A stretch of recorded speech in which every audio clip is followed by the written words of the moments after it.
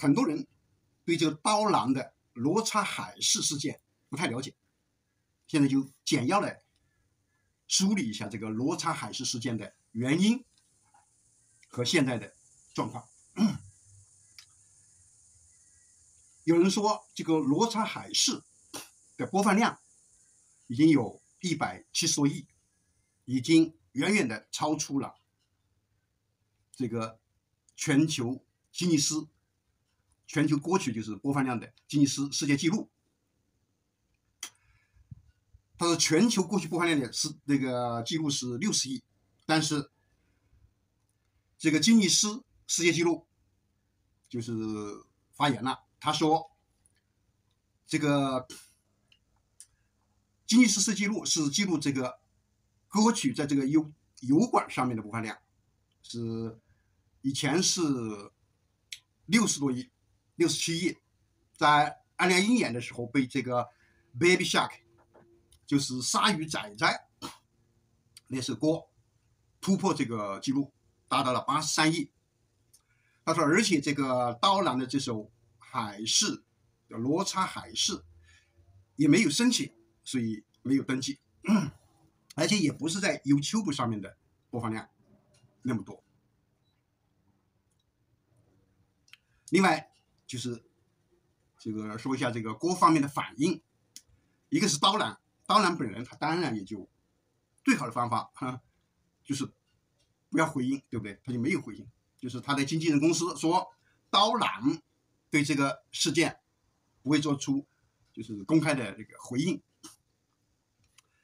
那么第一个回应的是谁呢？是在里面很多人说是这个被封刺的人之一杨坤，就是所谓的那个马户之一杨坤，他在自己的这个视频评论区的一条评论，他是转转了那个评论。在自己加一条加一句话的那个评论反评论，对不对？那条评论是什么呢？就是有人说，一群人变成了自己讨厌的样子，去网暴那英、拉踩杨坤、汪峰，这种操作真的是叹为观止，差不多可以收场了。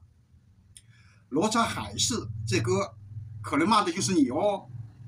所以这个杨坤他就加了一句，他说。的一一句话的评论，他说：“最后一句说对了，就是他这个回应，也实际也是是他的那个反击，就是也算是对这个事情的回应。那么汪峰呢，就是汪峰倒是发了一个很长的一个口播视频，就是他说表示没有看不起刀郎，他说我以前也没有看不起刀郎，没有这个意思。”而且，因为这个刀郎多年来一直坚持音乐创作，我对他表示尊重。因为刀郎这么多年来一直在搞这个捐助于这个歌曲创作，所以我表示尊重。而且他对刀郎的歌曲进行了从艺术的层面进行了点评，而且以他这个导师的一个期盼，慷慨的给刀郎的歌曲，对不对？打分。打的挺高，打了一个高分，是九十三分，并且他呼吁大家理性，这就是汪峰的反应。那么那英呢？就是在那英对这一事件做出正式的回应之前，就有人说他在这个呃微博上面是发表了这个回应，发表推文呃那个博文回应。其实那是他以前也是一九年的对另外一个事情跟刀郎无关的一个事情的一个回应，所以是有人把那个旧文章拉出来炒作而已。拉音抖音的视频评论区是这次事件的这个重灾区，他频道里单个的视频这个评论量已经超过七百多万，现在说不定。要冲八百万了，都是一些冷嘲热讽的评论，不但嘲讽他作为音乐风云榜内地四大影响力歌手的评委主席打压刀郎，认为当时过去有二百七十万张那个销量唱片销销量的，呃，这个刀郎，二百七十万张的销量的刀郎，不具备审美观点，所以当时十大影内地影响，内地十大影响的歌手就缺了刀郎，因为他认为刀郎不具备审美观点，不行，宁愿空缺，也把刀郎给赶走了，对不对？让他入选。不但批评这个，而且很多人对他说，听刀郎的歌都是农民，群情激愤，表示谴责和声讨。不过，据网友考古一些视频考古，认为这个话其实不是那英说的，不是他说的，就是说听刀郎的歌都是农民。只有农民才是呃这个 KTV 里面去点刀郎的歌，不是他说的，他并没有说这个。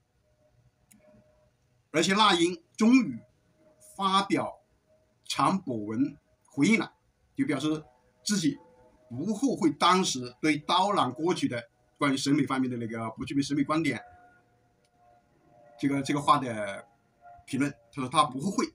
而且他认为他作为作为这个公众人物，可以接受大家的这个评论，你怎么说就怎么说。但是他说，